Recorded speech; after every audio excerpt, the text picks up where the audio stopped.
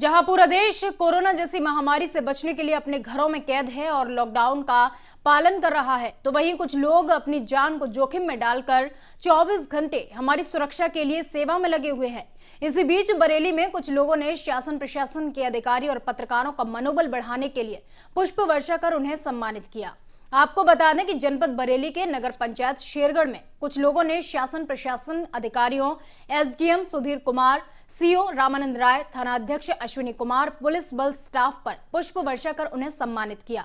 इस दौरान वहां पर शासन के आला अधिकारी भी मौजूद रहे